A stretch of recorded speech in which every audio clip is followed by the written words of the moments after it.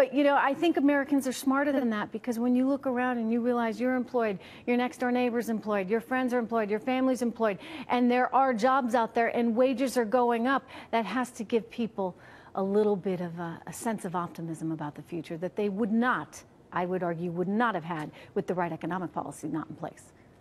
Well, you're absolutely right. I mean, truth, fact, and reason are under attack. They're just under attack by the Democrats who are mm -hmm. out there really telling the American people, who are you going to believe, us or your wallets? I mean, your wallets have more money in them. You have jobs. There's more job openings. Wages are going up. A matter of fact, there was another Gallup poll just about a week ago where 69% of Americans said they thought they'd be better off next year than they are this year. That's Good. the highest number since the Clinton administration, and only 26% of Americans said the economy wasn't working for them. I think a lot of them were probably Democrats who don't want to say anything good about the president, but that's the lowest number since the Clinton administration. Mm -hmm. So, you know, things are good. People know it. Again, who are you going to believe, us or your wallets? And well, that's not a know, great argument to make.